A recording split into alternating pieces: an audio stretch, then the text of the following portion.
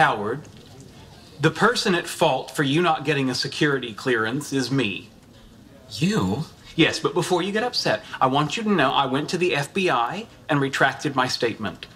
And they were okay with that? No, if anything, I made it worse. In any case, I have been riddled with guilt, which is causing Gorn infested REM sleep, so I'm here now to say I'm sorry. Are you kidding me? You've set my career back at least two years, and you think you can make it right with I'm sorry? Yes. I followed the social protocol. I attempted to right the wrong, and when I failed to do so, I delivered a heartfelt apology. Now, you say apology accepted, and I will offer you a one time only high five.